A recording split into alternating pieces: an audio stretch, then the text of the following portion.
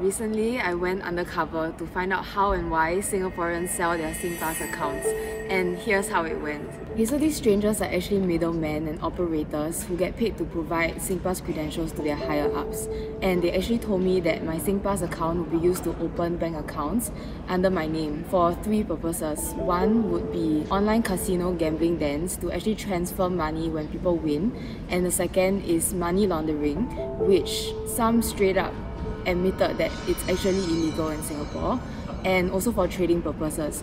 Though I did try to question them uh, further on this, most of them just gave me like vague answers saying that oh there's no risk, there will be no problem of this, they have many customers, so they deflected my questions. Yeah, pretty sus, I know.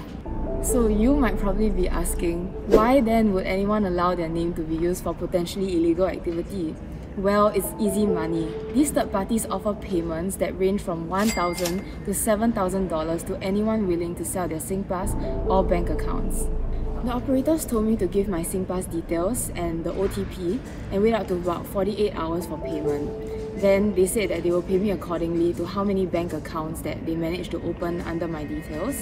And they also assured me that when they were done, the SingPass will be returned to me and I'll be able to use it normally. One operator even told me that if the police question me, I can just say that I kena scam and that my account got hacked by clicking a phishing link. And he even sent me a template statement saying that I can send this to the police if they want to investigate the situation. Another operator also said that Telegram history is untraceable and to tell the police that I didn't receive any monetary rewards from giving my SingPass to them. All of these operators told me that they have been doing this business for up to three years and they have countless number of customers. However, none of them have been caught. But even if some of these customers were investigated, none of them were penalized.